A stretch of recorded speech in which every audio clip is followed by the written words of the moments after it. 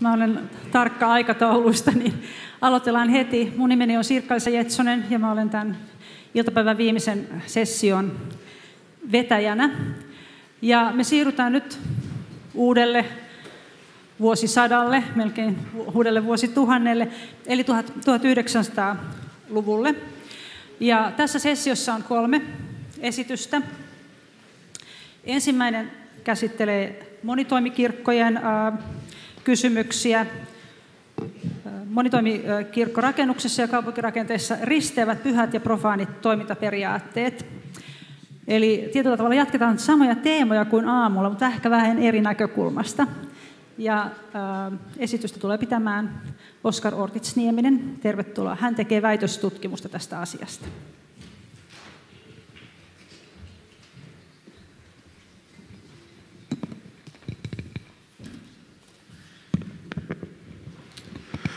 No niin, äh, hyvä seminaariyleisö. Äh, tuota, äh, olen siis Oskar Artis Nieminen, joka tekee väitöskirjaa tällä hetkellä toivottavasti loppumetrejä äh, tästä, tästä tutkimushankkeesta. Ja äh, mä olen tutkinut mun väitöskirjassa äh, Helsingin seudun monitoimikirkkoarkkitehtuuria, sen syntyä ja muotoutumista äh, tuota, 1900-luvun aikana – ja tuota, tässä esitelmässä vähän tuota, lähden tätä aihetta avaamaan, ehkä ei niin äh, suoranaisen kronologisesti, vaan ehkä, kuin ehkä temaattisesti avaten niitä jonkinlaisia näkökulmia, mitä mä olen äh, omassa tutkimuksessani tuota, äh, tähän asti äh, läpikäynyt. Ja äh, ehkä jonkinlaisena kokoavana teemana on myöskin kirkkorakennuksen suhde ympäröivään kaupunkitilaan ja sitä myöten myöskin ikään kuin yhteiskuntaan laajemminkin, joka on aika paljon määrittänyt sitä, että mitä monitoimikirkko rakentamisella on, on lähtökohtaisestikin haluttu ajaa takaa uh, uudenlaista suhdetta ympäröivään yhteiskuntaan ja, ja kulttuuriin ja, ja siihen liittyviä kysymyksen asetteluita.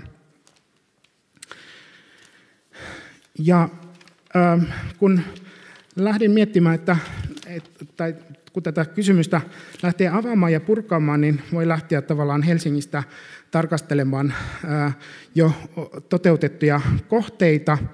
Ja hyvänä tämmöisenä vastinparina, jota olen kuljettanut tässä tutkimusprojektin myötä aina mukana, on, on tota, nykyinen Johanneksen kirkko, 1800-luvun loppupuolella valmistunut mahtava katedraalimainen kohde, joka, joka tuota, ikään kuin jylhyydessään tota, hallitsee tota eteläisen Helsingin maisemaa. Ja jos me lähdetään miettimään sitä, että, että minkälaisia tilajakoja siellä sisällä on, me voidaan tietenkin ikään kuin miettiä, miettiä tilajakojen käsitettä, mutta ikään kuin selvästi eriytettyjä kokonais, tilakokonaisuuksia siellä muodostaa kirkkosali ja, ja sakasti.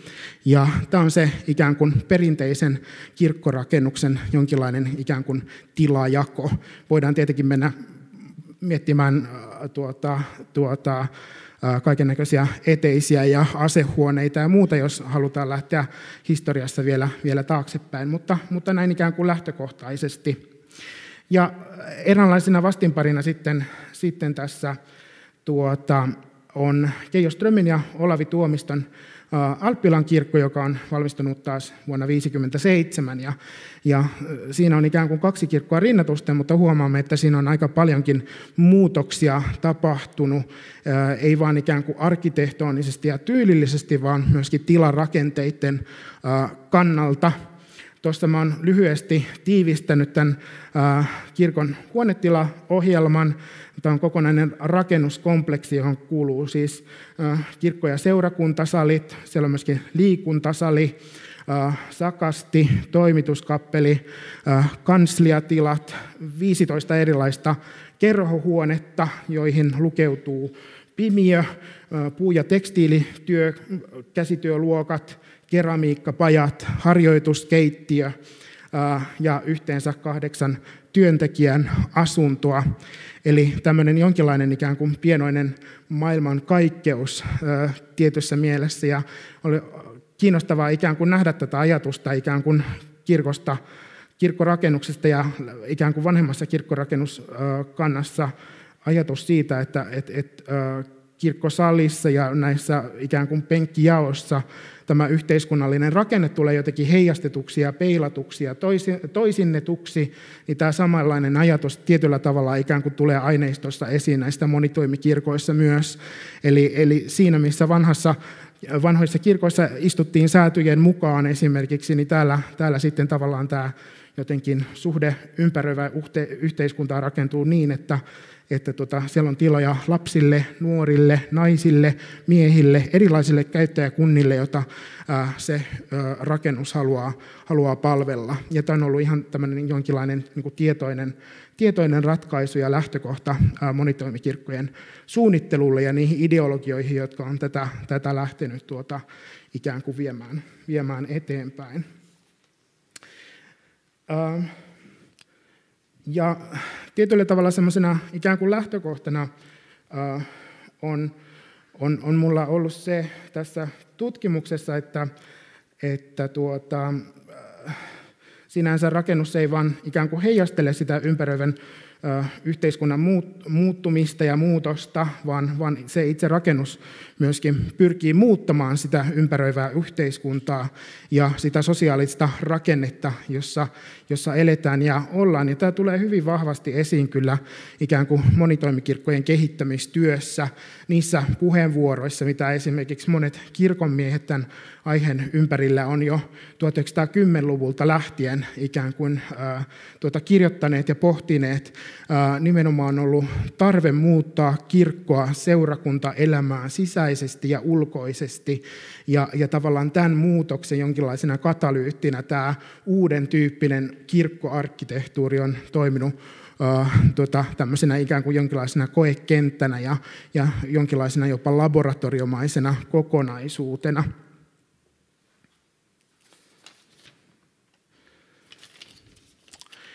Ähm, eli tässä vielä hieman tiivistetysti äh, mun väitöskirjatyön lähtökohdista.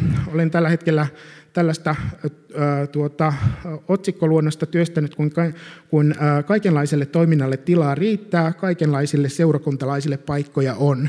Ehkä bongaatte jonkinlaisen yhteneväisyyden erääseen virteen. Se on ihan, ihan tuota, täysin täysin tuota, tietoinen ratkaisu. monitoimikirkko arkkitehtuuri Helsingin seudulla 1900-1960-luvuilla. Ja mä olen lähestynyt monitoimikirkkoa ää, tietyllä tavalla kahta lailla. Se on mun tutkimuksessa sekä jonkinlainen ikään kuin rakennustyyppi ää, tai kokoava yläkäsite rakennustyypille, joka tavallaan ikään kuin ää, jo 1800-luvun loppupuolelta ikään kuin tunnistetaan vähän ikään kuin intuitiivisestikin, että on olemassa tämmöistä siirtymää tämän tyyppiseen rakentamiseen ilman, että sitä sillä tavalla osattaisi näillä, näillä ikään kuin monitoimikirkon käsitteillä eksplikoida, mutta, mutta tavallaan tämän tyyppistä ikään kuin ajatusta löytyy jo aika, aika varhain. Ja, ja toisaalta se on, se on mun tutkimuksessa myöskin jonkinlainen analyyttinen työkalu, eli, eli tuota, sen sijaan, että mä itse tulen siis taidehistorian perinteestä, olen myöskin teologikoulutukseltani ja, ja kun kirkosta usein näissä disipliineissä puhutaan, niin puhutaan käytännössä kirkkosaleista, kun puhutaan uudemmasta kirkollisesta rakennuskannasta. Ja mua on kiinnostanut oikeastaan se, että, että kirkkorakennukset on, on itse asiassa tilallisia kokonaisuuksia, joissa on paljon erilaisia toimintoja ja, ja tuota, käytänteitä samojen seinien sisällä. Ja tavallaan tämä monitoimikirkko on jonkinlainen ikään kuin apparaatti, jolla mä pyrin ikään kuin tarkastelemaan myöskin tätä tilojen ja toimintojen moninaisuutta, mitä näihin rakennuksiin kytkeytyy ja, ja sisältyy ja minkälaista ikään kuin sosiaalista myöskin todellisuutta niillä, niillä pyritään sitten rakentamaan. Ja vähän jos muutamaa tavallaan tämmöistä niin analyyttisempää käsitettä tänne heittää väliin. Äh, Minua on kiinnostanut ajatus äh, Michel Foucaulta, käsite kuin heterotopia, äh, joka on hyvin moninainen ja hyvin ehkä vaikeaselkoinenkin käsite, mutta tietyllä tavalla olen poiminut sieltä tämmöisiä ajatuksia, jotka liittyy elettyyn utopiaan, erilaiseen tämmöiseen malli- ja pienoisyhteiskuntaan, jota, jota tuota, tietyllä tavalla nämä monitoimikirkotkin ovat. Ja, ja tuota, ajatus siitä, että heterotopia on jonkinlainen tila, joka heijastelee tai kokoaa itsensä muita sen ympäröivän ikään kuin yhteiskunnan ja kulttuurin tiloja ja tuo niitä rinnatusten ja vastatusten ja, ja tuota, luo erilaisia merkitysjatkumoita ja jännitteitä myöskin näille käyttäjille ja, ja suunnittelijoille ja tilaajille. Ja, ja sitten vielä ää, tuota, australialaisen tuota, feministiteoreetikon ää, tuota Elisabeth Grozin kaupunkiruumiit, jolla hän ikään kuin vertaa, vertaa tuota, kaupunkia tämmöisen sosiaalisten prosessien ja verkostojen kokonaisuudeksi, jossa ikään kuin kaikki nämä erilaiset tilat ja paikat muokkaa näitä kaupungin käyttäjiä ja asukkaita omalla tavallaan. Ja näin me voidaan oikeastaan ajatella, että monitoimikirkko on tämmöinen jonkinlainen kaupunkimainen rakenne sikäli, että siellä käydään Jumalan palveluksissa, mutta osallistutaan myöskin sitten kirkkokahveille ja, ja tuota, käydään seurakunnan kerhoissa ja, ja tuota, muissa tapahtumissa. Ja nämä kukin ikään kuin toiminta tietyllä tavalla pyrkii muokkaamaan sitä käyttäjyyttä omaan, omaan suuntaan. Se muodostaa jonkinlaisen tämmöisen kokonaisuuden tälle, tälle tuota, ää, tuota, eletylle todellisuudelle. Ja näin ikään kuin ensimmäisistä monitoimikirkosta, mitä voisi ikään kuin näin ajatella, että mitä Helsinkiin on, on rakennettu, niin, niin tuota, on, on myöskin vähän ikään kuin laajennettava sitä näkökulmaa, että, että tuota, puhutaanko nyt ainoastaan ikään kuin seurakuntien rakennuttamista kohteista vai, vai voisiko laajentaa sitä näkökulmaa myöskin erilaisten kristillisten yhteisöjen rakennuttamiin tuota, ää, kohteisiin? Ja, ja oikeastaan tämmöiset ensimmäiset rakennukset, missä ajatus siitä, että kirkkosalin yhteydessä on erilaisia toimintoja palvelevia huoneistokokonaisuuksia, niin tulee esiin jo 1800-1900-luvun taitteessa, jolloin erilaiset kristilliset yhdistykset alkaa rakentamaan pääkaupunkiseudulle omia toimirakennuksia. Ja näissä on, on monissa kirkkosali mukana, mutta tuota, sen lisäksi muita, muita huoneistokokonaisuuksia. Tässä on poiminut ää, esimerkiksi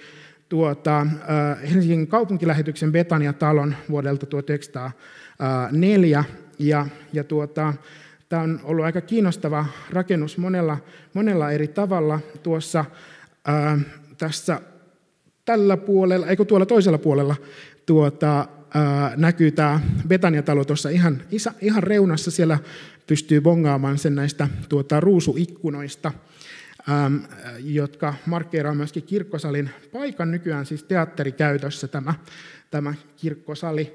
Niin tuota, ää, ää, niin siellä oli, oli tämän kaupunkilähetyksen tämä, tämä kirkkosali, joka toimi itse asiassa eteläisten Helsingin seurakuntien tämmöisenä sivu, sivukirkkona oikeastaan siihen asti, kun, kun tuota Agrikolan kirkko valmistui. Ja, ja tota, kaupunkilähetyshän oli oikeastaan perustettiin Helsingin seurakuntien eräänlaiseksi hyvän tekeväisyyslaitokseksi alun perin, eli, eli tämmöistä hyvän tekeväisyystoimintaa täällä ikään kuin Punavuoren eli työläiskaupungin osassa oli se ikään kuin heinä tai, tai sarka, mikä, mikä tuota, kuului tähän toimintaan. Ja, ja tuota, kun tätä rakennusta rakennettiin siellä, niin aika paljon esitettiin toiveita siitä, että, että kun tämä tämä ikään kuin sakraali rakennus tänne toteutetaan, niin se tulee vaatimaan myös sen, että tämä ympäristö puhdistetaan ja siistitään tuota, niin, niin sosiaalisessa kuin hengellisessä, hengellisessä mielessä tämmöisistä ikään kuin aatteellisesti ja, ja esteettisesti arveluttavista elementeistä. Ja, ja tuota, tässä oli, oli paljon tuota keskustelua esimerkiksi tämän puiston kaunistamisesta ja uudistamisesta ja, ja te, rakentamisesta. Eli, eli tavallaan näillä monitoimikirkoilla ja kirkoilla ylipäätään on ollut aina tämmöinen ikään kuin maisemallinen rooli myöskin sen lähiympäristönsä ää, kaunistajana ja, ja ja tuota, puhdistajana monessakin ikään kuin merkityksessä ja, ja mielessä. Ja erityisesti tämän Betanian, Betanian sarkaan, kun on, on ollut tavallaan tämä työväen kortteleissa tehty, tehty työ, niin siinä on ollut myöskin tämmöisiä ikään kuin yhteiskunnallisia ulottuvuuksia, jolla, jolla tavallaan tätä ympäröivää, ympäröivää tuota, yhteisöä on, on haluttu myöskin muuttaa. Eli, eli monitoimikirkot on tietyllä tavalla ollut aina tämmöinen maisemallinen ja, ja ö, sosiaalisen muutoksen agentti täällä pääkaupunkiseudulla. Eli, eli tuota, siitä, siitä tuota, ö, hieno, hieno muistuma ja kiinnostava, kiinnostava esimerkki ja tavallaan tämä kuvapari ikään kuin ennen ja jälkeen kirkon tulo, sitä, kir, tuota, Betania-talon tuloa sitä tietyllä tavalla myöskin heijastelee.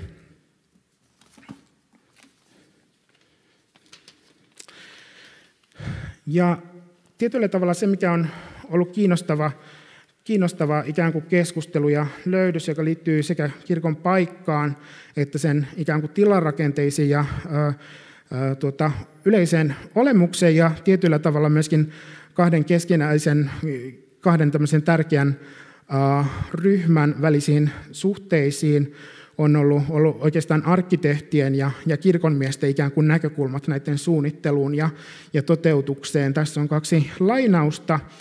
Ähm, tota, ensimmäinen on, on Otto Ivari Mörmanilta äh, hänen asemakaavaopistaan, jossa äh, hän ikään kuin visioi kirkoille hyvin semmoista perinteistä äh, paikkaa, maisemallista kohtaa, tuota, uudessa, uudessa sodanjälkeisessä rakentamisessa. Eli, eli tuota, uh, kirkot on edelleenkin tämmöinen ikään kuin sosiaalisen ja yhteiskunnallisen jatkuvuuden uh, symboli hyvin ikään kuin korkealentoisessakin mielessä. Sitten jos mennään 20 vuotta eteenpäin tuota, ajassa, niin pastori Tauno Sarantola, joka paljon kirjoitti kirkkoarkkitehtuuria ja taiteeseen liittyvistä kysymyksistä, niin, niin tavallaan ikään kuin edustaa tämmöistä uudempaa, ehkä, ehkä tietyllä tavalla uudempaa paradigmaa 60-luvulle, jossa nimenomaan tämmöinen ikään kuin monumentaalisen mittakaavan näkökulma kirkkorakentamiseen koetaan tietyllä tavalla ikään kuin vieraana ja ihmisiä ikään kuin ehkä karkottavana tuota, lähtökohtana. Ja, ja sinänsä poimin nämä esimerkiksi sikäli, että nämä voisi olla oikeastaan melkeinpä, melkeinpä vuosisadan alusta nämä samat esimerkit samoilla ikään kuin taustoilla. Eli jo meillä 1900-luvun alussa kirkonmiehet halusivat lähteä uudistamaan kirkkoarkkitehtuuria sillä tavalla, että ne olisivat ikään kuin ihmisten kokoisia rakennuksia ja helposti lähestyttäviä ja matalan kynnyksen tiloja, kun taas arkkitehdit mielellään halusivat tätä monumentaalisuutta ja, ja näyttävyyttä ja, ja, ja tietyllä tavalla oikeastaan jopa tämä monitoimikirkon tilarakenne oli, oli sellainen asia, mikä oli nimenomaan kirkonmiehille tämmöinen ikään kuin utooppinen visio siitä, että me voidaan koota seurakunta yhteen moninaisena kokonaisuutena. Ja sitten taas arkkitehdit, jotka mietti rakennuksia erityisesti toiminnallisesti ja erilaisten toimintojen yhteensulattamisen näkökulmasta, niin monitoimikirkot oli usein varsin problemaattisia kohteita. Ja tuota, ää, rakennukset, nämä tuota, monitoimirakennukset sisältää paljon erilaisia huonetiloja. Ää, usein tavallaan sukupuoli on niissä ollut aika tärkeä ää, ja huomionarvoinen ää, tuota, elementti. Esimerkiksi pojille nimenomaisesti on, on tuota, suunniteltu tämmöisiä erilaisia kerho, kerhohuoneita ja, ja tuota, veistotiloja ja, ja sitten myöskin naisille sitten ompeluseurojen äh, tuota, tiloja näin ikään kuin tyypillisimmillään. Tuossa on Irja Kilpeläisen äh, tuota, tämmöinen, äh, joka oli siis teologia, toimi Helsingin alueella tämmöinen pieni sitaatti, äh, jossa hän kertoo, ikään kuin omastaan roolistaan sekä ikään kuin pyhän ja profaanin maailman jotenkin ää, tuota, ää, rajoilla ja, ja tuota, ikään kuin avaa sitten myöskin omaa, omaa professiotaan sekä, sekä siellä ikään kuin miehisellä että naisellisella ää, toimintasfäärissä, mikä yhdistyy tietyllä tavalla näissä, näissä monitoimikirkoissa. Ja ää, tietyllä tavalla ikään kuin tämä, tämä moderni monitoimikirkko rakentaminen lähtee sitten kunnolla ja ikään kuin räjähdysmäisesti liikkeelle sitten toisen maailmansodan jälkeen, jolloin, jolloin myöskin tuota, uutta lähiörakentamista tässä, tässä puuhaillaan, mutta tietyssä mielessä tavallaan tämä ilmiö on, on, on jo vanhempi ja, ja se ikään kuin lähtee tämmöisestä urbaanista, urbaanista elämästä ja sen muuttamista sosiaalisista rakenteista ja niihin vastaamisesta. Ja, ja tietyllä tavalla oikeastaan jo sellaisista kehityskuluista, jotka lähtee 1800-luvun loppupuolelta liikkeelle. Ehkä tässä vielä tähän loppuun tämmöinen ikään kuin ajatuskiteytys ja, ja jonkinlainen väite siitä, että, että mä ajattelen, että monitoimikirkko on jonkinlainen ikään kuin melko lailla nerokas keksintö sikäli, että, että se ö, ikään kuin toimii tämmöisenä läpikulkutilana ja yhdistävänä kokonaisuutena, johon kuuluu tavallaan ä, tämä pyhä, tuonpuoleinen, hengellinen, juhlava ja rituaalinen taiteellinen elementti, mutta siihen, siihen sisältyy myöskin tämmöinen profaani, tämänpuoleinen, maallinen, arkinen ja rutiininomainen ikään kuin puoli. Ja, ja tämä on ollut ikään kuin semmoista käyttövoimaa, mitä, mitä monitoimikirkkoihin on, on liittynyt. Samoin äh, tämä rakennus kokonaisuutena on ollut ikään kuin tämmöisen julkisen ja yksityisen välinen äh, rajankäyntialue, eli, eli tuota, monitoimikirkolla on haluttu vaikuttaa äh, laajemmin kaupunkia ja yhteiskuntaan, mutta monet niistä välineistä, joilla tätä on toteutettu, on, on lähtenyt tavallaan ikään kuin kodin yksityisistä piireistä. Aika paljon on, on aineistoissa puhetta siitä, että kuinka tavallaan seurakunnan isät ja äidit kasvattaa siellä tulevia ää, seurakuntalaissukupolvia ikään kuin tämmöisenä arkisena ää, tuota, toiminnallisena kokonaisuutena ja, ja tietyllä tavalla sitä sitten hyödyntäen tähän, tähän tuota, tämän kokonaisjäsennyksen aikaansaamiseksi tällaiseksi ikään kuin välitilaksi, joka, joka sitten tuota, koko ajan yhdistää ja asettaa rinnakkain ja, ja vastatusten. Eli, eli tuota, siinä mielessä kiinnostava kokonaisuus, joka tietyllä tavalla yhdistyy niihin teemoihin, mitä, mitä tänäänkin jo aikaisemmin ollaan, ollaan tuota keskusteltu. Kiitos.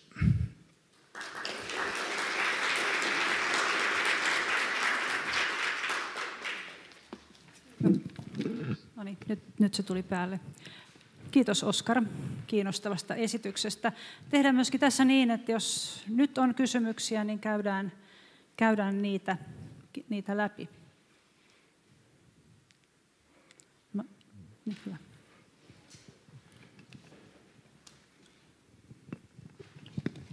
Kiitos esityksestä jännittävä nähdä, että mä en ole tiennyt, että monitoimikirkko voi olla noin monitoimikirkko, että siellä on siis esimerkiksi 15 erilaista kerhohuonetta.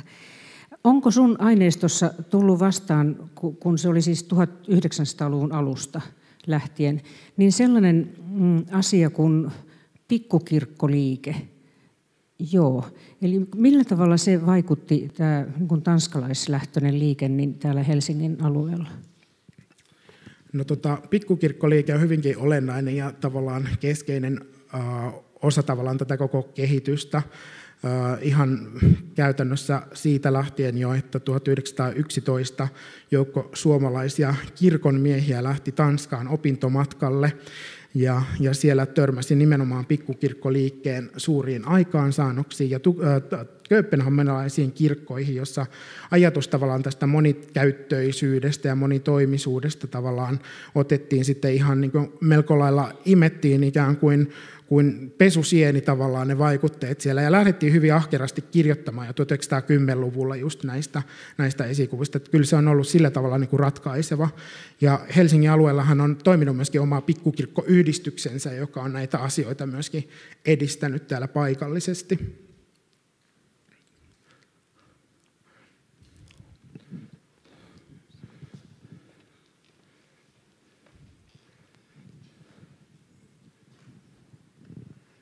Joo, onko tämä Joo.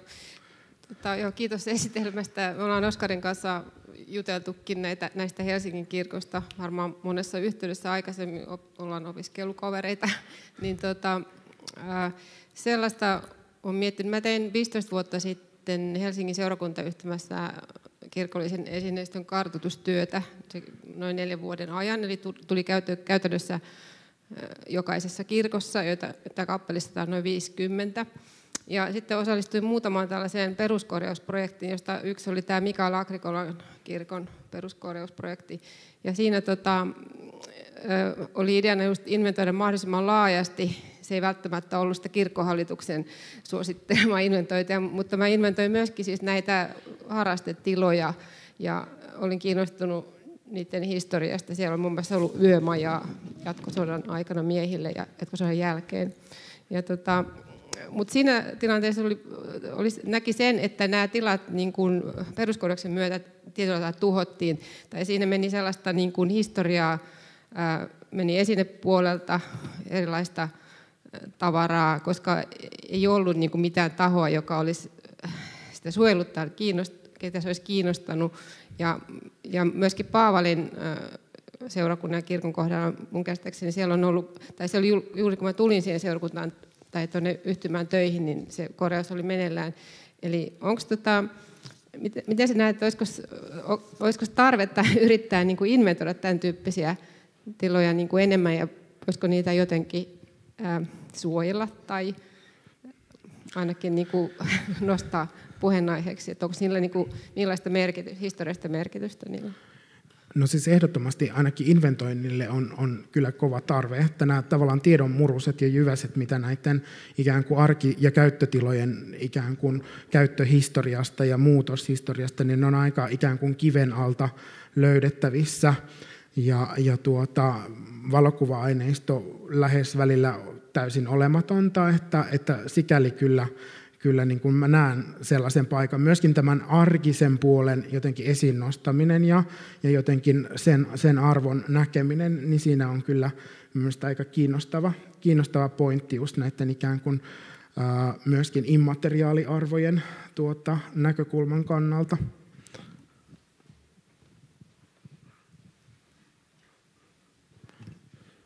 Kun kuulin tämän kysymyksen ja vastauksen yhtäkkiä huolestuin, että miten meidän tulossa olevassa kirkko, kirkko- ja restaurointi- ja hoito-ohjeessa tämä näkökulma on otettu huomioon. Jos ne jää katveeseen, niin se on aika tyypillinen tilanne kaikissa arvokohteiden restaurointi- ja suunnitteluhankkeissa. Ei välttämättä aina tyypillinen, mutta on, on ajatellaan, että on jotenkin sekundaarisia, vähän toisarvoisia tiloja, joita voidaan ehkä uhrata tai joiden käyttö voi muuttua enemmän tai jotka sitten joidenkin päätilojen suojelun nimissä sitten taas on, on tuota kovemman käsittelyn kohteena ja nimenomaan ehkä tämän tyyppisissä kohteissa niin, niin kuin muuallakin, niin pitäisi pyrkiä ehkä enemmän semmoiseen kokonaisuuden hahmottamiseen. Mutta mä en osaa sanoa. Nyt täytyy pikaisesti katsoa sitä pian painossa olevaa opasta. Mitä siellä sanot? Nyt ei nähdä enää käsiä. Ja Heikki.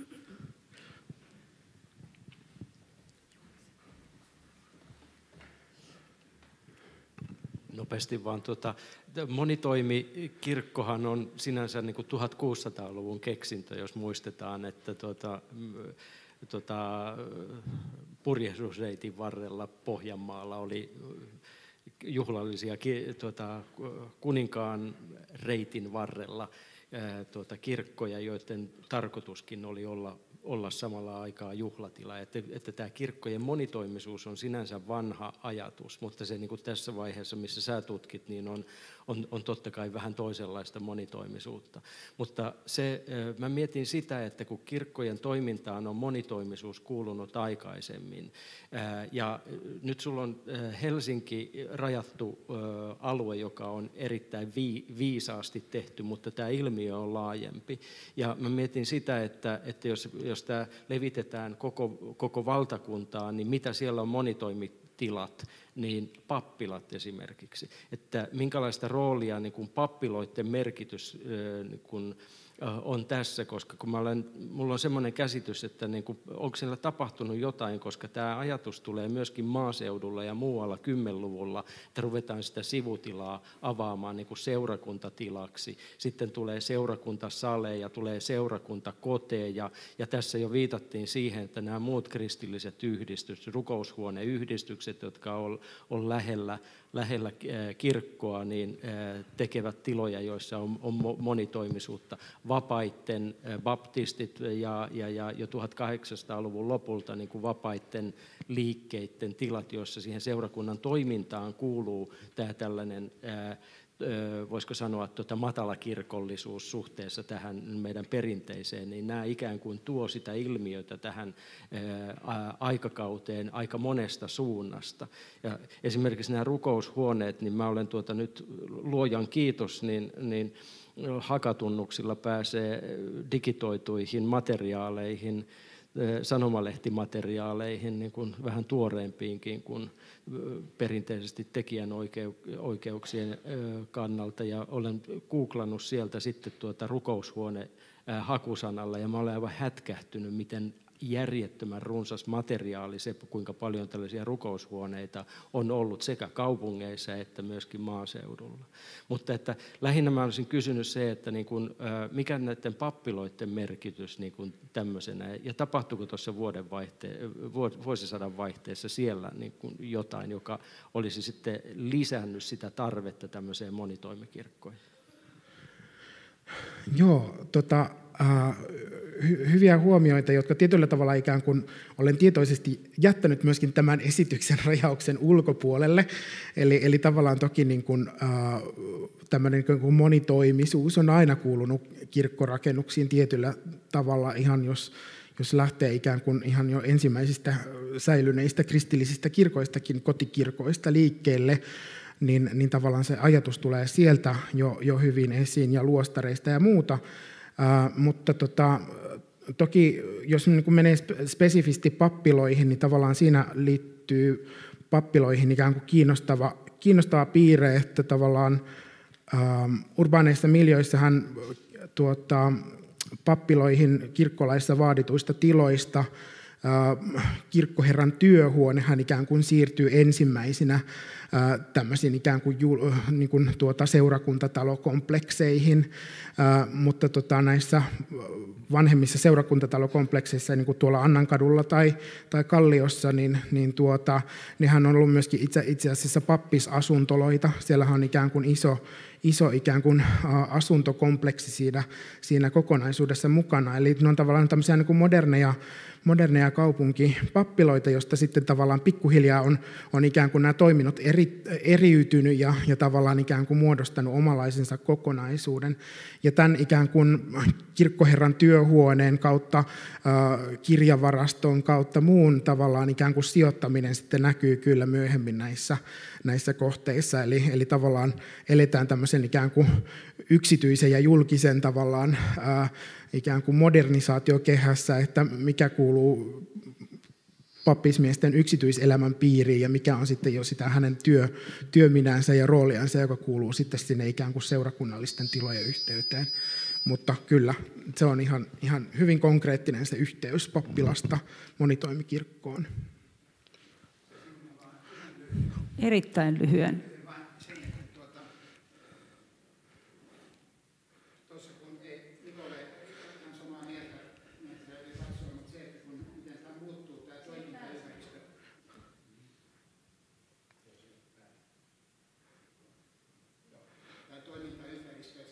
näitä kirkkoherran virastoja esimerkiksi, jolla enää ei ole sitä virkaa, mitä silloin oli aikaisemmin, niin, niin tämä muutos on aika iso, että miten nämä ottaa huomioon. Tämä oli vaan, minkä mä halusin sanoa. Kiitos Oskar. Tämä on hieno aluevaltaus, koska tämä kyllä tosiaan sun väitöstutkimus tuo esiin varmasti sellaista, joka on ollut katveessa, jos ajatellaan tätä seurakuntien rakentamista. Kiitokset. Kiitos.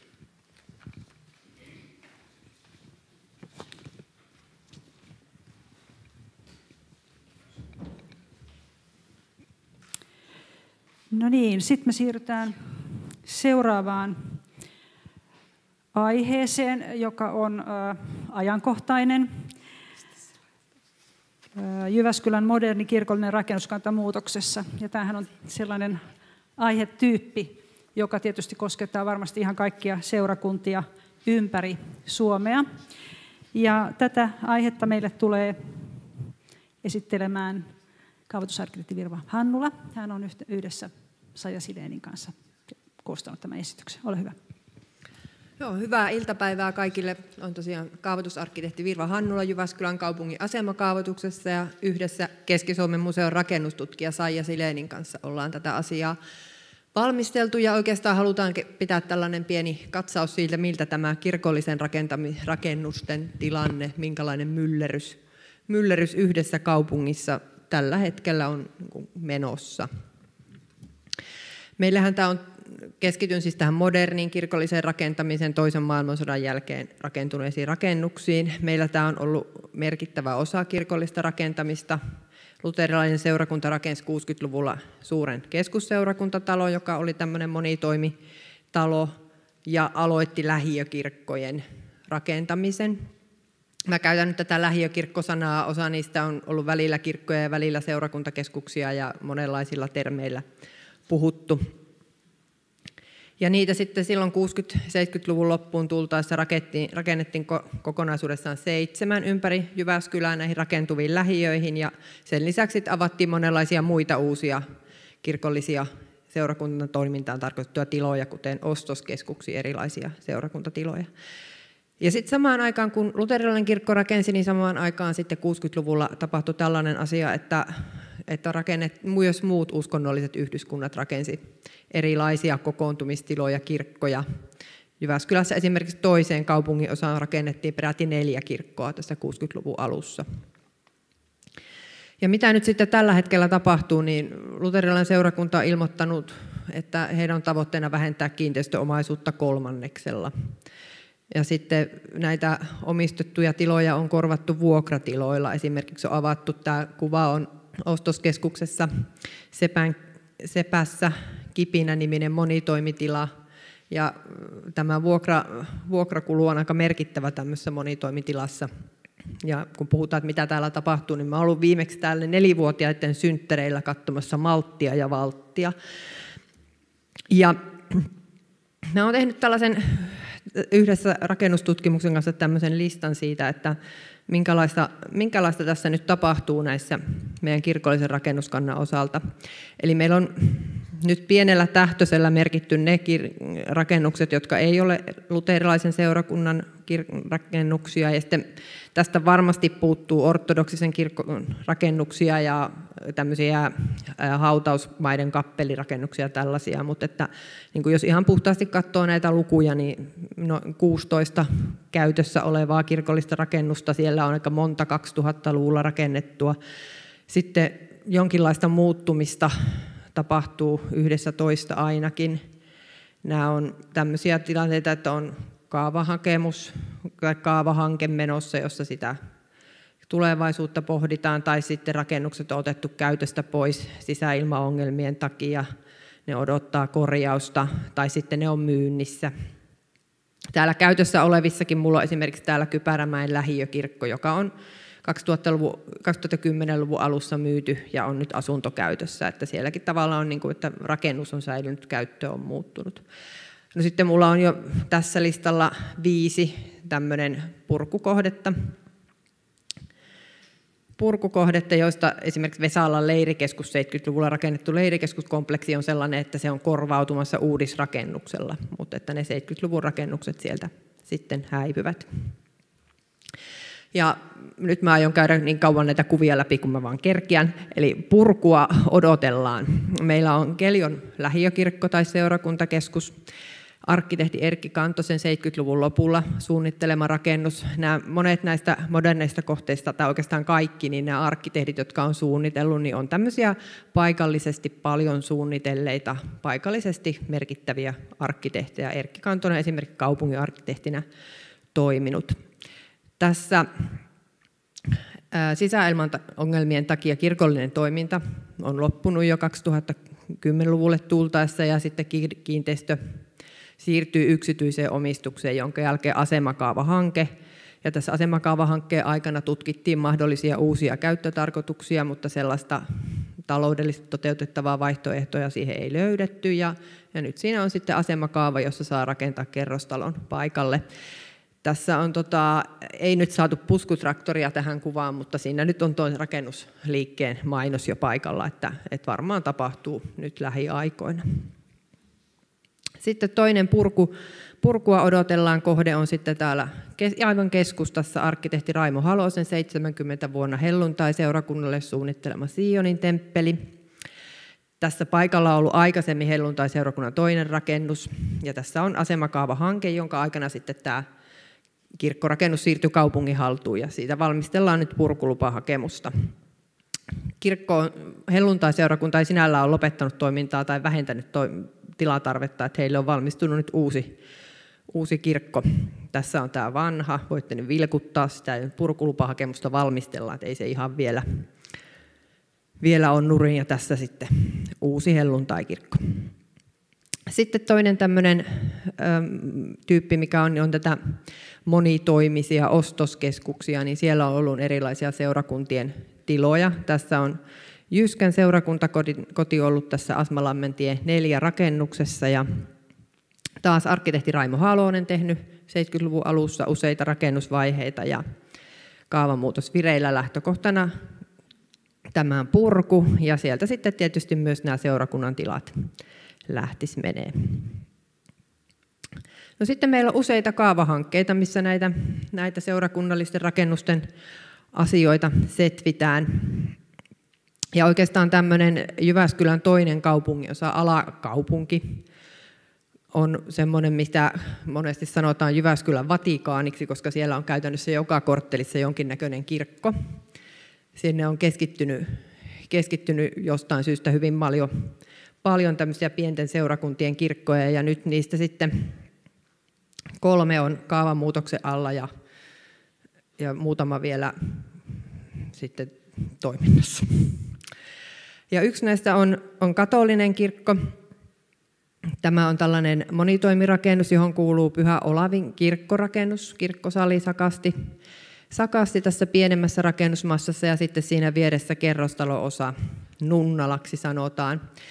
Arkkitehti Olavi Kivimaa on suunnitellut tämän 60-luvulla ja tämä edustaa edustaa sitten tosiaan tämmöistä monitoimirakennusta, että siinä on toiminut nunnien ylläpitävä, tai toimii edelleen nunnien ylläpitävä päiväkoti, nunna, nunnien asuntola, pa, seurakunnallista pappilaa, siinä on nunnille oma kappeli tuossa kerrostalo-osassa. Ja tämä itse seurakunta on Viipurista siirtynyt katolinen seurakunta. Asemakaava on 61 vuodelta, eli se on tehty silloin tämän kirkon rakentamista varten – ja me, meillä on maakuntakaavaa varten inventoitu rakennukset ja niissä on sitten myös mukana modernia rakennuskantaa. Niissä inventoinnissa jo ja siitä liittyen, niin täällä on niin maakunnallinen arvo. Arvo ollut jo 2000-luvun alusta. Tässä näkyy nyt sitten sitä kirkkokohdetta ja sitten sitä, sitä seurakunta, tai anteeksi, sitä sitten tota nunnalaksi sanottua siipeä. No nyt meillä on sitten ollut kaavamuutoshakemus viime vuonna, jossa, jossa sitten hakijana oleva katolinen kirkko ja, ja paikallinen kiinteistökehittäjä, niin lähtökohtana rakennusten purkaminen ja korvaaminen uudella asuinkerrostalolla.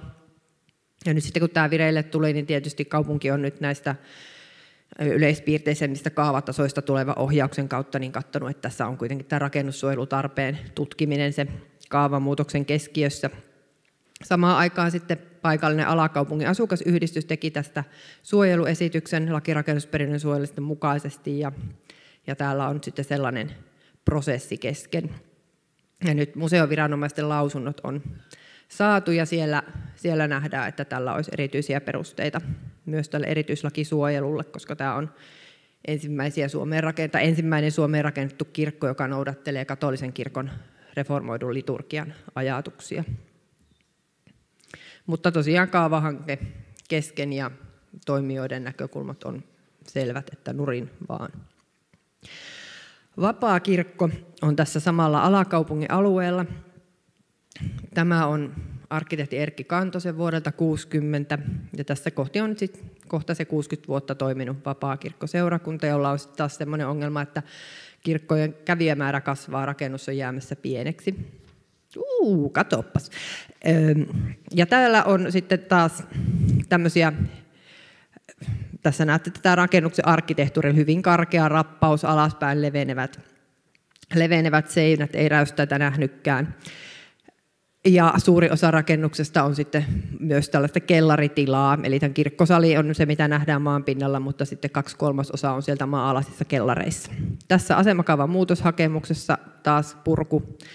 Ja tässä on kärsitty käyttäjät hyvin paljon sisäilmaongelmista ja siihen liittyen seurakunta on tehnyt perusteellisen kuntotutkimuksen, selvityksen niistä korjaustavoista ja haitta-ainekartoituksesta. Ja ja tota, niiden perusteella esitetään, että rakennukset puret, tai sellaisen rakenteiden purku lähes kokonaisuudessaan niiden maa-alaisten tilojen osalta. Ja nyt sitten me ollaan lähestytty tätä raken, sillä tavalla, että ohjattu, ohjattu tätä toimijaa hakemaan lausuntoa Keski-Suomen museolta siitä rakennustaiteellisesta arvo, kulttuurihistoriallisesta arvosta ja tästä sitten korjausten tavasta. Ja, ja on jääty sitten vähän pohtimaan, että ei, tai museo lausunnossa jäi pohtimaan, että mitkä olisi säilyttävän korjaamisen ratkaisut, millä tällaiset niin kuin laajat, laajat eri aikaan rakennetut kellaritilat saataisiin korjattua niin, että nämä kulttuurihistorialliset arvot säilyisivät. Että nyt tästä todennäköisesti raken, asemakaavaa viedään eteenpäin siitä lähtökohdasta, että tätä kirkkorakennusta ei tarvitsisi säilyttää. Vapaakirkko on ottanut uudet toimitilat. Tässä on näistä kuva, minkälaisia ne muuttaa vanhaan kuntosaliin lähemmäksi Prismaa. Sitten meillä on adventtikirkko tällä samalla alueella, myös kaavamuutoshakemus. Kirkkokiinteistö on rakennusteknisesti vanhanaikainen, vaatisi peruskorjauksia, ei pysty jäsenmäärältään pitämään enää näinkään suuria tiloja, noin 500 neliötä. Ja tämä on sitten myös samanlaista kohtaloa odottamassa. Sitten meillä on tämmöisiä, mitkä on ratkaistu kerran kaavalla, mutta hyvin jännä nähdä, miten näiden kanssa käy. 2011 tehtiin Lohikosken kirkolle kaavamuutos, todettu, että tämä on maakuntakaavassa maakunnallisesti arvokas kirkko, on, on suojelumerkintäkaavassa, on laajennettu tätä kirkon, kirkon tota, käyttötarkoitusta niin, että siellä voi olla jotain myös muita kuin kirkon toimintaa. Tässä on 80-luvulla jo tehdystä julkaisusta, tämä on katsottu niin kuin tämmöiseksi yhdeksi Suom- Jyväskylän merkittäväksi modernin rakennuskannan kohteeksi, että se on haluttu esitellä tämmöisessä 80-luvun jyväskyläläistä arkkitehtuuria esittelevässä kirjassa.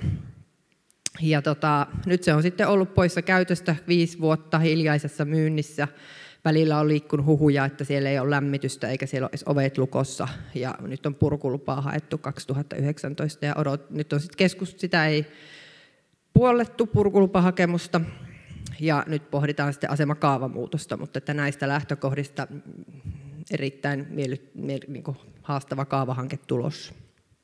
Tässä on sisäkuvia. Jyväskylän luterilainen seurakunta on tosi hienosti kuvannut näitä näitä tota, omia tiloja ja näistä näkyy kyllä, että minkälaiset rakennukset kyseessä. Sitten on samanlainen tapaus Halssilassa, myös jäänyt samalla lailla ratkaistu 2010-luvun alussa asemakaavalla, että on suojelurakennus laajennettu käyttötarkoitusta, poistettu siitä ne asuntolat siltä tontilta.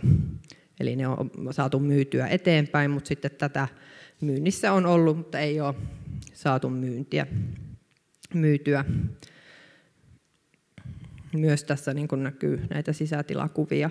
Kortepohjan seurakuntakeskus kävi läpi ison korjauksen ja nyt sitten Kortepohjan kaava, ka, lähiöalueen kaava, kaavassa tehdään sitä kokonaissuunnitelmaa ja siinä pohditaan käyttötarkoituksen muuttamista, täydennysrakentamista kirkon nykyisellä tontilla, eli tästäkin haluttaisiin luopua.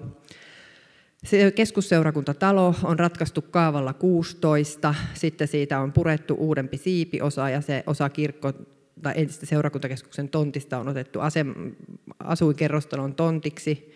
Ja asuinkerrostalo nousee, tuossa valokuvasta näette, mutta tälle, tälle tota, seurakuntakeskukselle ei ole löydetty uutta käyttöä, että se siinä töröttää tyhjillään ja varmaan taas tehdään asemakaavamuutos.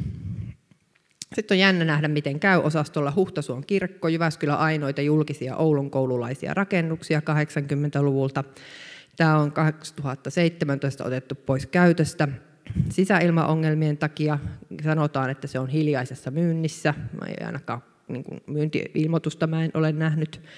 Ja sitten tästä sisäilmaongelmista huolimatta, niin paikalliset maahanmuuttajat on saanut käyttää sitä liikuntasalia, että me olemme hämmentyneitä.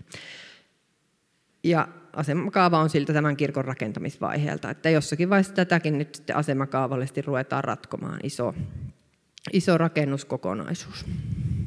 No eihän tässä nyt ensimmäistä kertaa olla kirkkoja purkamassa Jyväskylässä, että sattuuhan sitä.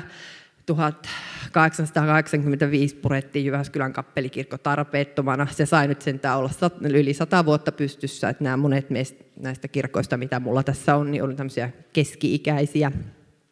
Keski-ikäisiä. Tietysti tämä nyt on ollut kovempi lohkaisu tästä kirkollisen rakentamisen massasta, että siinä on varmaan mennyt lähes 100 prosenttia kerralla. Kiitos.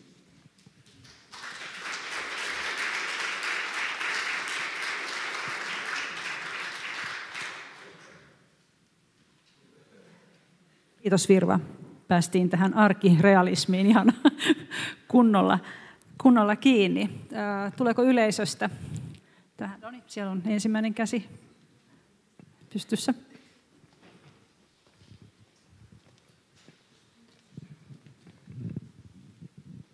No niin, kiitoksia. Pystytkö kelaamaan sen listan takaisin näkyviin?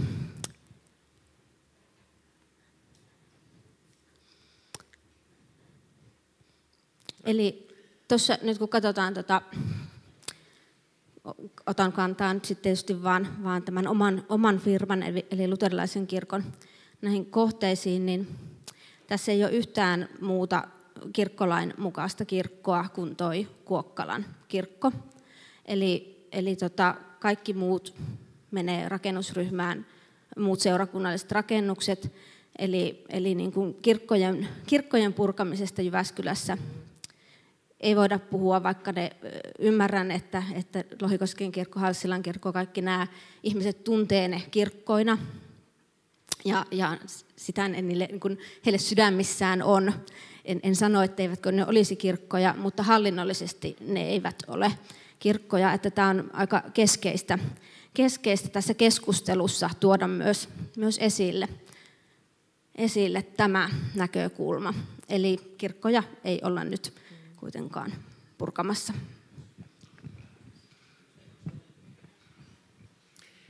Joo, tämä on ihan tosiaan, niin kuin sanoin, niin osa on, on, on niin kuin hyvin monenlaiselta. Sitten kun katsoo vaikka kaupungin opaskarttaa, niin siinä lukee aina sen kohdalla, että kirkko. Että tämä on just tämä terminologinen asia.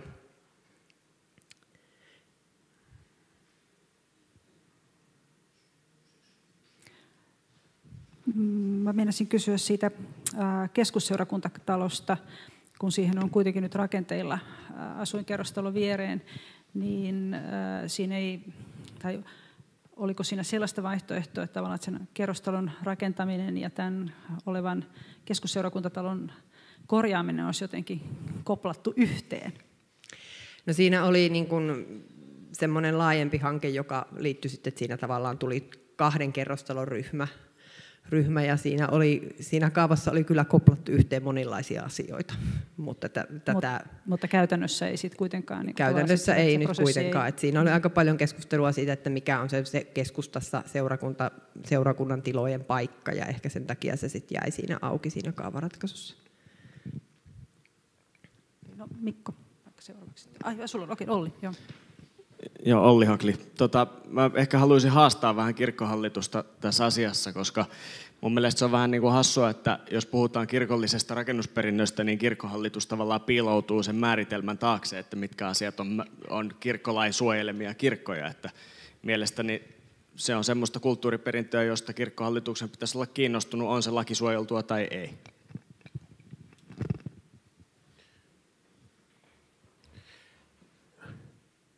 Kommentoinko kirkkohallitus ennen kuin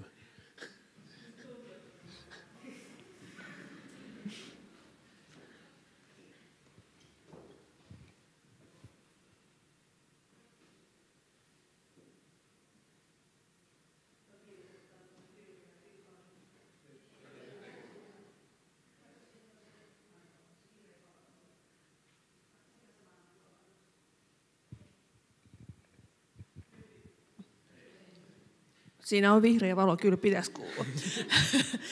Tota, joo, kirkkohallitus siis. Ää, mä sanoisin näin, että eihän me piilouduta sen taakse. Kirkkohallitus voi ottaa kantaa vain kirkkoihin, jotka ovat hallinnollisesti kirkkoja. Eli tota, nämä kaikki muut rakennukset on seurakunnan päätösvallassa. Ja, ja toki me ohjeistetaan ja annetaan neuvoja, mutta me ei voida niin kuin, meillä ei ole toimivaltaa puuttua siihen, miten siellä seurakunnassa tapahtuu. Silloin kun kysymys ei ole tämmöisestä niin kuin kirkkolain mukaan alistetusta kirkkorakennuksesta silloin, kun sitä on lähdetty rakentamaan.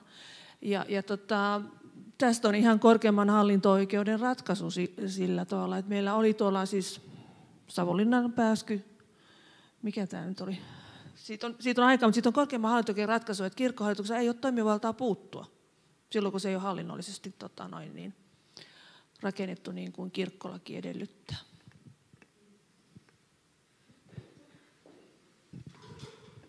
Jos mä kommentoin vielä tuota katolisen kirkon tilannetta, että se on jollakin tavoin aika erilainen erityinen. Suomessa ei ole kovinkaan monta katolisen kirkon kirkkorakennusta tai pyhäkköä, ja se joukko, pienikin joukko on tavallaan vähän semmoinen, vähän semmoinen sekalainen.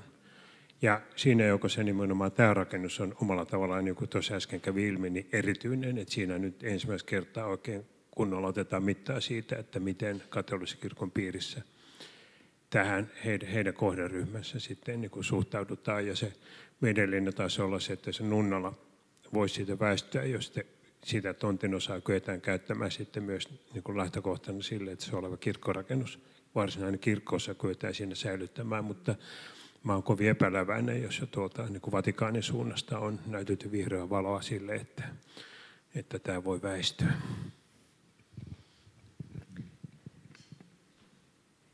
Joo, kyllä tosiaan se katolisen kirkon, kirkon osalta niin on ollut aika haasteellinen kaavoittajanakin lähteä miettimään, että organisaatio on hieman tuntematon itselle, niin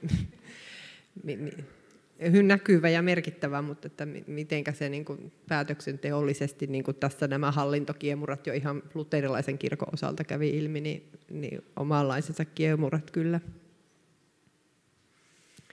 katolilaisessa. Ja se oli todella niin kuin sellainen tunteita herättävä tilaisuus, se asukastilaisuus, missä sitten nämä seurakuntalaiset kertoivat kokemuksestaan siitä, että kun se kirkkorakennus on lähdössä tai kaavamuutoshakemus oli tullut ja kaava vireille, niin, niin kyllä se niin kuin hyvin merkittävä, merkittävä rakennus on heille.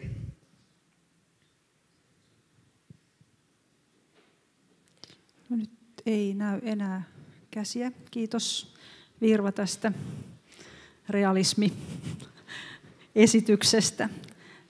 Tämä tulee olemaan meille tuttua varmasti seuraavina, seuraavina vuosina muissakin kaupungeissa ja kunnissa.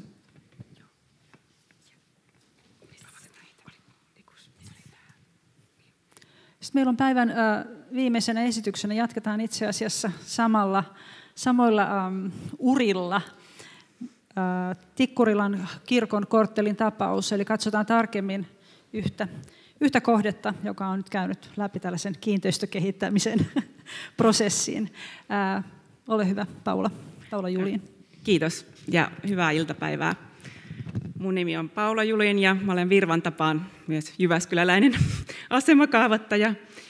mutta täällä mä edustan Jyväskylän yliopiston musiikin, taiteen ja kulttuuritutkimuksen laitosta, jossa mä teen väitöstutkimusta.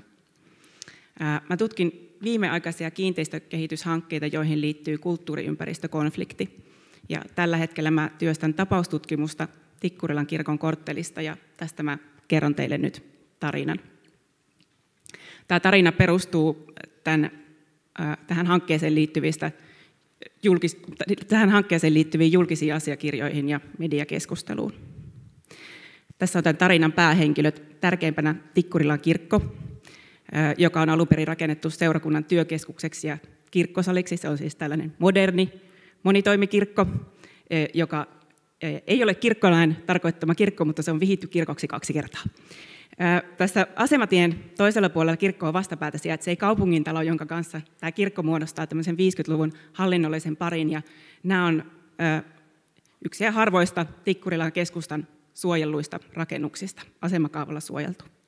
Samalla tontilla kirkon kanssa sijaitsee seurakuntien talo, joka on 70-luvulla rakennettu seurakuntayhtymän virastotalo.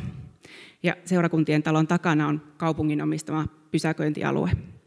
Ja viereisellä tontilla on kolmas päähenkilö, kiinteistö Oy Betania, joka on 80-luvulla rakennettu liikerakennus.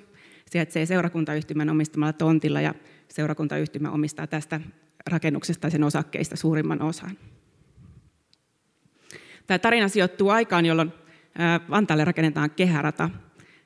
Kehärata yhdistää Helsinki-Vantaan lentoaseman raideverkkoon, ja Tikkurilla on se kohta, jossa kehärata yhdistyy päärataan.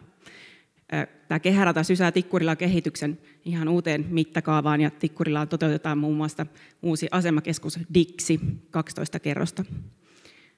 Tämä globaalisti tämä sijoittuu aikaan, jolloin kiinteistöistä tulee kiinnostavia sijoituskohteita, sijoitusvarallisuutta. Ja Suomessa ulkomaisten toimijoiden osuus suomalaisesta kiinteistökaupasta moninkertaistuu. No, sitten mennään. Tätä hanketta edeltää aika, jolloin Tikkurilan keskustaa kehitetään tätä 50-luvun miljöitä suojellen ja maltillisesti täydentäen. Tarina alkaa vuodesta 2003, jolloin kirkon kellarin alapohjasta löytyy kosteutta ja mikrobeja. Kirkon purkamista väläytetään jo silloin, mutta se on asemakaavalla suojeltu ja, ja päädytään siihen, että se suojellaan edelleen ja sen laajennuksesta järjestetään arkkitehtuurikilpailu. Ja kilpailun pohjalta käynnistetään tässä korttelissa asemakaavan muutos, joka sitten kun se valmistuu vuonna 2011, niin voisi luulla, että seurakuntayhtymä rientää oitis korjaamaan tätä kirkkoa, jossa nämä ongelmat ovat muhineet jo yhdeksän vuotta, mutta toisin käy. Tikkurilan kirkolla työskentelevät ovat oireilleet niin, että lopulta työsuojeluvaltuutetut julistavat Tikkurilan kirkon vaaralliseksi terveydelle. Jo ennen tämän asemakaavan voimaantuloa seurakunta on alkanut selvittää tulopohjan kasvattamista asuntorakentamisella tässä korttelissa. Vuonna 2012 seurakuntayhtymä saa uuden kiinteistöjohtajan, joka suhtautuu epäillen peruskorjaushankkeeseen. Hän teettää näistä peruskorjaussuunnitelmista riskinarviot ja on sitä mieltä, että näihin tuleviin urakkahintoihin tulisi lisätä 20 prosentin riskivara Tämä urakkakilpailutus kuitenkin järjestetään ja näin käy, että hinnat ovat suurempia kuin mitä kustannusarvio oli. Ja kirkkovaltuutettujen joukossa syntyy aloite siitä, että kirkko purettaisiin ja rakennettaisiin uudestaan. Seurakuntaneuvosto alkaa vaatia työsuojelutarkastusta kirkkoon. Ja dramaattisena joulukuun päivänä vuonna 2012 käy niin, että sen sijaan, että kirkkovaltuuston jolloin silloin oli siis tarkoitus päättää kirkon peruskorjauksesta, se päättääkin, että Tikkurilan kirkko puretaan. No, kaupunki on juuri saanut valmiiksi asemakaavamuutoksen, jossa tämä kirkko nimenomaan suojellaan, ja tämä purkaminen tarkoittaisi, että tätä asemakaavaa pitäisi muuttaa. No, neuvottelut kuitenkin käynnistetään kaavoituksen ja seurakuntayhtymän ja kaupungin museon kesken, ja kaupungin museo on sitä mieltä, että kirkko on korjattavissa. Samaan aikaan seurakuntayhtymän taloustyöryhmä asettaa tavoitteeksi tilojen tuntuvan vähentämisen seuraavina vuosina. Ja kirkossa teetetään mikrobimittauksia ja tutkimuksia, jossa siihen ehdotetaan erilaisia korjaustoimenpiteitä ja ylläpidollisia toimenpiteitä. Muun muassa ilmanvaihto on ollut kiertoilmalla. Ja tästä johtopäätöksenä seurakuntayhtymä päättää sulkea koko kirkon. Tässä mediakeskustelussa tältä ajalta maalaillaan kuvaa seurakunnasta sisäilman uhrina ja kaupungista hankalana vastustajana. Tässä keskustelussa väläytellään tällaisia uhkakuvia ja toisaalta jaetaan tällaista lievää disinformaatiota, kuten esimerkiksi työsuojeluviranomaiset asettivat kirkon käyttökieltoon No eihän se niin käynyt, kyllä se oli seurakuntayhtymä itse, joka sen teki. Seurakuntayhtymä jatkaa samalla linjalla ja päättää purkaa myös tämän seurakuntien talon, joka on tulossa peruskorjausikään. Ja vasta sen jälkeen se on valmis hakemaan asemakaavan muutosta, siis tämän kirkon ja seurakuntien talon koko alueelle. Ja tässä kaavamuutoshakemuksessa se toteaa suorasukaisesti, että tavoitteena on niin paljon rakennusoikeutta, että nettotuotuksi tulee vähintään 4,5 miljoonaa euroa. Tämä kaupungin omistama pysäköintialue siinä seurakuntien talon takana liitetään tähän kaavamuutokseen ja kaupunki ja seurakuntayhtymä solmivat yhteistyösopimuksen. Tämän yhteistyösopimuksen mukaan tästä kaava-alueesta järjestetään kumppanuuskilpailu, eli kilpautetaan kiinteistökehittäjät tälle alueelle. Ja tässä kilpailussa ajatuksena on, että jokainen ehdokas tai tarjoaja laatii kaksi vaihtoehtoista suunnitelmaa. Toisen sellaisen, jossa tämä kirkko säilytetään, ja toisen, jossa se puretaan. Ja tämä kilpailu on aika pitkä ja monivaiheinen prosessi, joka sisältää muun muassa neuvottelukierroksia näiden tarjoajien kanssa ja se huipentuu sitten tähän itse tontinluovutuskilpailuun, jossa nämä kuusi kiinteistökehittäjäehdokasta ja heidän palkkaamat arkkitehtinsa laativat nämä kaksi vaihtoehtoista suunnitelmaa ja niihin liittyvät hintatarjoukset tästä alueesta. Tätä kilpailua koskeva kirjoittelu on vähän ristiriitaista, että toisaalta puhutaan ihan alustavasta kilpailusta, mutta nämä ehdotukset tai tämä voittajaehdotus osoittautuu myöhemmin varsin sitovaksi ja nämä hinnat näistä neliöistä tai yksiköistä ovat, ovatkin sitovia. Toisaalta sitten tämä kilpailualue, sehän siis sisälsi vain tämän kirkon, seurakunta, seurakuntien talon ja pysäköintialueen muodostaman alueen, mutta sitten kuitenkin ehdokkaita pyydetään laatimaan suunnitelmat myös viereisille tonteille, eli tähän Betanian tontille ja sinne toiselle puolelle. Tätä kuvaillaan myös tässä arkkitehtuurikilpailun kaltaiseksi laatupainotteiseksi kilpailuksi, mutta näiden pisteytysjärjestelmien tarkempi tarkastelu osoittaa, että, että määrälliset tekijät ratkaisee. Arviointiraati sen seitsemän jäsentä, tai seitsemästä jäsenestä viisi edustaa seurakuntayhtymän hallintoa ja taloutta. Kaupungin kaksi edustajaa ovat yrityspalveluiden projektijohtaja ja aluearkkitehti. Eli siis kilpailu, jossa on yksi arkkitehti raadissa. Ja tämä arviointiraati valitsee voittajaksi niin sanotusti kokonaistaloudellisimman tarjouksen, joka on samalla korkein tarjous tästä purkavasta vaihtoehdosta. Tämän ehdotuksen takana on kansainvälinen kiinteistösijoittaja ja kehittäjä, joka omistaa asemakeskus Dixin. Tämä Yhtiö on perustettu Tanskassa, mutta tämä rahasto, jonka nimissä nämä kaupat sitten myöhemmin tehdään, niin on rekisteröity Luxemburgiin. Mm. Tämä voittanut tarjous siis sisältää myös tarjouksen tästä säilyttävästä vaihtoehdosta, mutta se ei käy seurakuntayhtymälle. Seurakuntayhtymä ilmoittaa, että se poistuu hankkeesta, jos kirkkoa ei saa purkaa. Ja myös kaupungin päätöksenteko teksteistä käy ilmi, että kaupunki on varsin ihastunut tähän voittajaehdokkaaseen ja, ja alkaa sekin kääntyä purkamisen puolelle. Näin ollen kaupungin museo alkaa jäädä aika yksin tämän suojelua, tätä suojelua puolustaessaan. Ja tässä nyt tämä suojelu on oikeastaan melkein ainoana esteenä enää tälle hankkeelle. Tässä vaiheessa ja siis vasta tässä vaiheessa asemakaavan muutos tulee vireille ja kaupungin museo saa ensimmäisen lausuntopyynnön. Tämän asemakaavaprosessiin kuuluu aloitusvaiheen viranomaisneuvottelu, johon osallistuu myös toinen viranomainen, jonka tehtäviin kuuluu kulttuuriympäristöasiat, eli elinkeino-, liikenne- ja ympäristökeskus. Kaupungin museo ja ely toteavat viranomaisneuvottelussa, että suojelun edellytykset eivät ole muuttuneet sitten edellisen asemakaavan. ely tulee kuitenkin antaneeksi ohjeet siitä, miten tämä suojelun purkaminen voisi olla mahdollista. Tarvitaan asiantuntijalausunto jossa, joka todistaa, että, että kirkko ei ole korjattavissa turvalliseksi ja terveelliseksi siten, että sen suojeluarvot säilyvät. Seurakuntayhtymä lähtee tilaamaan tällaista lausuntoa ja sellaisen se myös saa.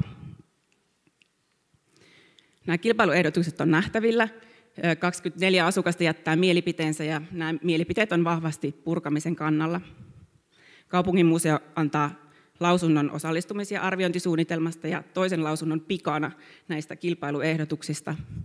Ja näissä lausunnoissa se luettelee tai kertaa nämä suojeluarvot, ja nämä suojeluarvot sitten seurakuntayhtymän konsultti niittaa korjattavuuslausunnossaan. Liikkeellä on myös käsitys siitä, että museovirasto olisi hankkeen puolella. Sitten tapahtuu sellaisia tapahtumia, jotka ovat yllättäviä siihen nähden, että seurakuntayhtymä on lähtenyt hankkeeseen nimenomaan riskienhallinnan ja taloudenhallinnan nimissä. Se nimittäin hyväksyy uuden kirkon hankesuunnitelman, vaikka ollaan tilanteessa, jossa kaavaluonnosta ei vielä ole, joten he eivät voi edes tietää, että millä tontilla tämä kirkko tulee sijaitsemaan. Seurakuntayhtymä myös ostaa tämän kiinteistö Oyn Betanian puuttuvat osakkeet 1,3 miljoonalla eurolla ja päättää purkaa tämän rakennuksen, joka siis on kokonaan vuokrattu, tuottaa tasaista vuokratuottoa seurakuntayhtymälle ja jolla olisi teknistä käyttöikää 10-15 vuotta jäljellä. Tämän takana on halu sijoittaa tämä uuskirkko tälle paikalle. Tontti liitetään tähän kaavamuutokseen. Ja vasta sen jälkeen saadaan aikaiseksi kaavaluonnos. Tämä kaavaluonnos laaditaan melko tarkasti tämän kilpailuehdotuksen mukaan, ja kirkko esitetään siinä purettavaksi.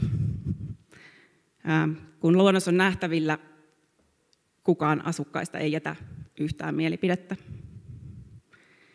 ely ja kaupungin museo jättävät kaavaluonnoksesta lausunnot, joissa he myöntyvät siihen, että kirkko ei ole enää pelastettavissa ja että purkaminen on perusteltua.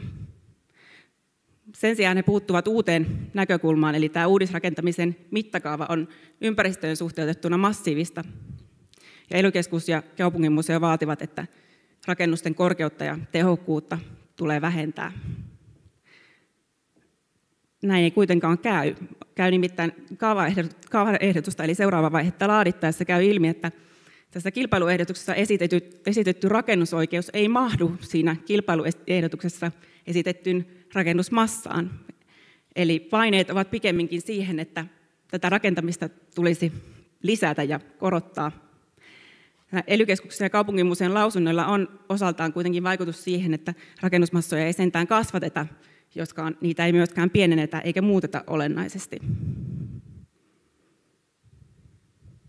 Ja kaavaehdotus asetetaan nähtäville ja sama toistuu yksikään asukkaista ei, ei jätä muistutusta ely ja kaupunginmuseo antavat lausunnot, joissa he muistuttavat toistamiseen rakentamisen mittakaavasta ja korkeudesta. Se ei johda toimenpiteisiin. Ja kaupungin vastineessa todetaan, että kortteli on mittakaavaltaan ja korkeudeltaan samaa luokkaa kuin alueelle vastikään rakennetut uudet asuinkorttelit. Eli näin alueen hankkeet perustelevat toinen toisiaan. Ja asemakaava hyväksytään kaupunginvaltuustossa Silloin jotkut valtuutetut vähän nurisevat korttelin ulkoasusta, mutta tämmöinen vaikuttaminen on aika näennäistä, sillä kaava hyväksytään yksimielisesti. Siitä ei myöskään valiteta. Se tulee lainvoimaiseksi ja purkaminen voi alkaa. Tässä on kuva viime kesältä, jossa nämä päähenkilöt on jo siirtyneet muistoihin. Tikkurilan kirkko 62 vuoden iässä, seurakuntien talo 42 vuoden iässä ja kiinteistö Oy Petania 29 vuoden iässä. Näin 18 000 kerrostolla neliömetriä suhteellisen nuorta rakennuskantaa on purettu, ja tätä perustellaan ennen kaikkea kaupunkirakenteen tiivistämisellä, mitä pidetään yksiselitteisesti kestävän kehityksen mukaisena. Vuonna 2019 kaupungille myönnetään Elävä kaupunkikeskusta-palkinto erityisesti Tikkurilan kehittämisestä ja siitä, että Tikkurilan kaupunkikuvassa ei ole pyritty hillittyyn ja tylsään yhtenäiseen kaupunkikuvaan. No nyt meidän tarina alkaa lähestyä loppuaan. Tämä on siis yksi hanke yhdessä kasvukeskuksessa. Ja eilen kun kävin Tikkurilassa, tämä hanke on siellä nyt rakenteilla, niin on myös moni muu hanke, eli Tikkurilan keskusta on myllerryksessä. Mutta tässä viimeisenä kuvana vielä rakennusliikkeen havainnekuva siitä, miltä tämä kortteli tulee näyttämään. Ja taustalla myös tuo asemakeskus Dixi, jonka tämä kansainvälinen kiinteistösijoittaja on jo ehtinyt myydä eteenpäin. Kiitos.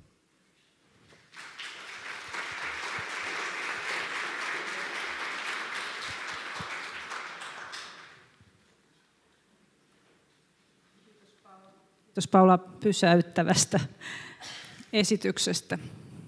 Tähän kommentteja tai kysymyksiä? Kaikki ovat järkyttyneitä.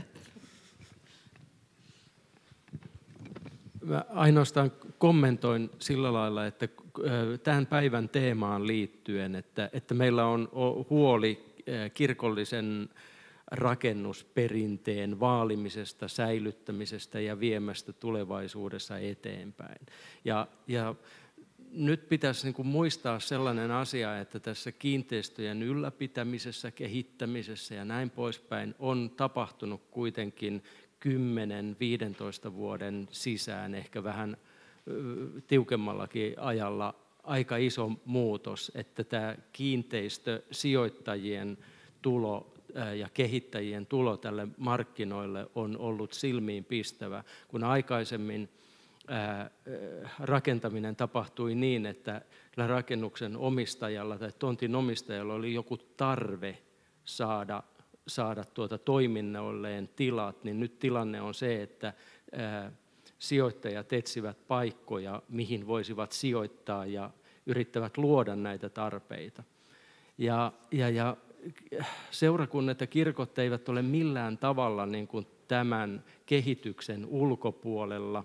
Ja jos ajatellaan sitä asiantuntijuutta, millä näitä asioita pyöritetään, niin se asiantuntijuus rakentuu myöskin niin kuin näiden nykyään vallitsevien tuota, tuota, koulutuksen ja, ja, ja tämän, tämän tilanteen mukaan. Ja, ja ja tämä on osittain jo seurakunnissa tuota, mukana. Mä nyt en, en maalailisi tästä nyt mitään niin kuin ihan valtavaa uhkakuvaa, vaikka sekin olisi mahdollista vaan, vaan tuota, herättäisin sitä ajattelua, että olemme tietoisia tästä muutoksesta, emmekä ikään kuin eläisi jossain sellaisessa maailmassa, jota ei enää ole eikä mahdollisesti tule.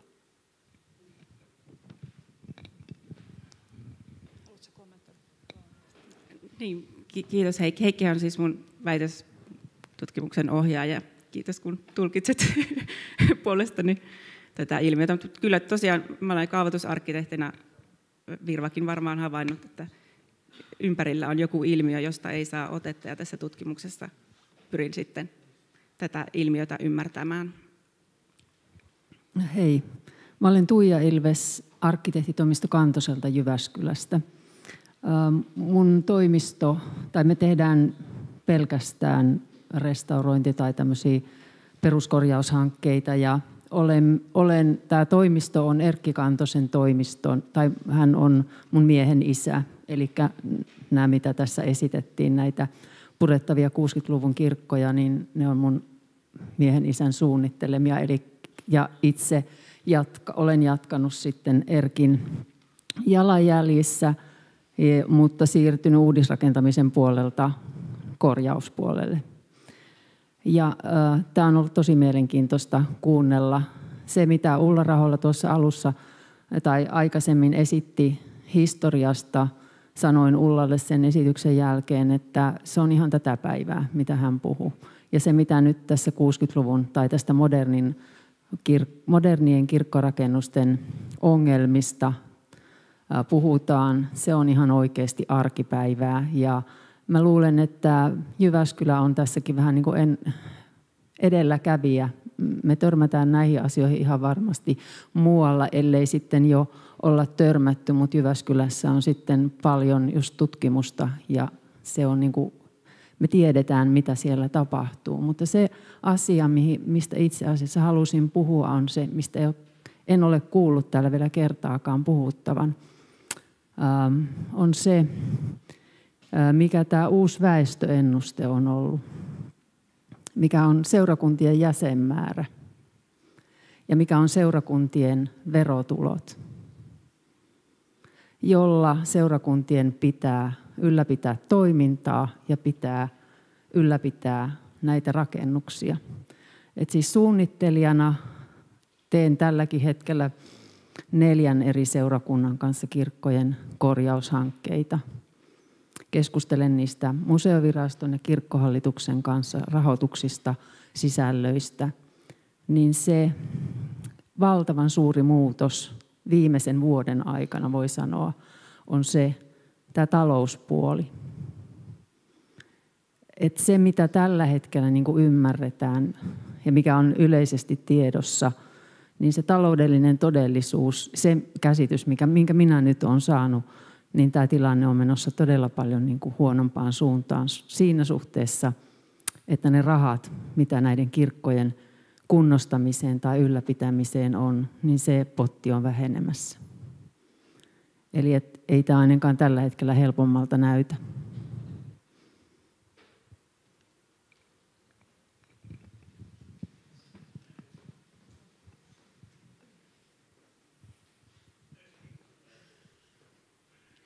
Tuleeko vielä yleisöstä kysymyksiä siellä? Hei, mä edustan täällä nyt tää seurakuntapuolta. Mä oon Paula Nikolainen Kirkkonummen seurakuntayhtymästä. Meitä on tässä kolme. Ja meilläkin on Kirkkonummella ehkä tulossa ajankohtaiseksi ennen pitkää kirkon korjaaminen ja on puhuttu sen käyttötarkoituksista ja muusta, mutta oikeastaan tuohon edelliseen puheenvuoroon, yleisöpuheenvuoroon viitaten, niin haluaisin heittää ilmaan semmoisen hiukan ehkä kärjistävän ja teoreettisenkin kysymyksen, mutta että meillä on näitä seurakuntayhtymiä Suomessa, isoja seurakuntayhtymiä, joilla on valtavasti varallisuutta, mutta sitten on paljon pieniä seurakuntia, joilla ehkä ei paljonkaan sitä realisoitavaa ole, ja sitten on velvoittava lainsäädäntö ja on ohjaavia ja määrääviä viranomaisia, niin onkohan semmoinenkin mahdollista, että viranomainen voi ajaa seurakunta, seura, jonkun seurakunnan käytännössä konkurssiin, että kun oikeasti ne jäsenmäärät laskee ja rahoituspohja romahtaa, ainakin osassa seurakuntia, niin mä näkisin, että kyllä tässä vähän semmoista draaman aineesta on ilmassa seuraavien kymmenien vuosien aikana. Ja tuota, olisi aika hyvä, jos niin kuin eri tahot, eri toimijat, joita tähän liittyy, niin löytäisi semmoisen yhteisen jonkinlaisen tahtotilan siitä, että miten tästä selvitään eteenpäin.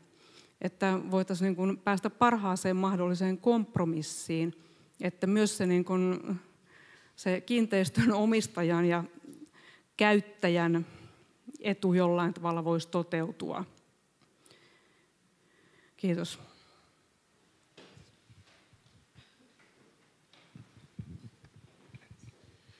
Mä museoverosta ei pysty kaikkien viranomaisten puolesta vastaamaan. Se olisi, se olisi aika moista, jos museoverosta ajaa seurakunnan konkurssiin, mutta jäädään odottamaan. Mä, mä luulen, että tämä tilanne on itse asiassa valtion puolella kyllä pikkusen samantyyppinen, mutta ehkä ihan samassa mitassa, mutta että seurakunnat ja kunnat on aika tavalla toistensa kaltaisessa tilanteessa ja vaikka ei haluaisi, niin on pakko myös uskoa siihen, että nämä talouden reunaehdot on monissa pienemmissä kunnissa, pienemmissä seurakunnissa, kyllä suuremmissakin, niin ne, on, ne vaan on aikaisempaa vaikeammat. Ja kyllä, kyllä se minusta tarkoittaa sitä, että siinä joudutaan joka tapauksessa hakemaan niitä, niitä kompromisseja. Me tiedän, että kirkkohallitus valmistelee, eli ei ole aloittanut Evolut-kirkon kiinteistöstrategian uudistamista ja jollakin tavoin löytyisi, että toivoisi, että siinä työprosessissa löytyy niin myös lääkkeitä siihen, että millä tavoin niitä kompromisseja haetaan, koska niin on ihan selvää, että osasta ehkä joudutaan esimerkiksi kirkkorakennuksia tai kir- kirkon seurakuntien omistamia rakennuksia joudutaan luopumaan. Osasta kuitenkin olisi syytä ja pitääkin pystyä pitämään kiinni. Ja nyt tämän rajankäynnin tekeminen niin, että se lopputulos on kaikille kohtuullinen ja palvelee kirkon työn ja seurakuntalaisten tarpeita, niin tuota, se, se, on ehkä se, jota, jota tässä nyt täytyy ryhtyä aktiivisesti puoleen toisia hakemaan. Sen takia tämmöistäkin seminaaria tarvitaan.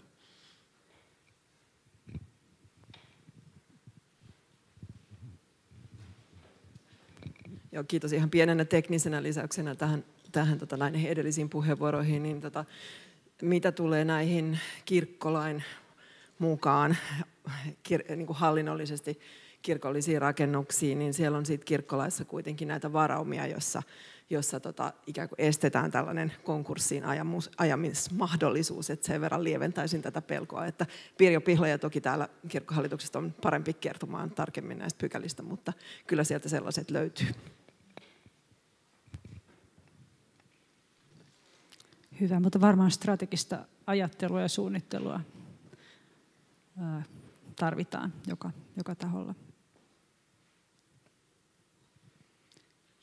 Okei, kiitoksia Paula, kiitoksia meidän muut iltapäivän esiintyjät, kiitoksia yleisölle ja me ollaan nyt viisi minuuttia etuajassa, mutta ehkä se ei haittaa. Huomenna aamulla aloitetaan 9.30. Eli huomiseen tervetuloa.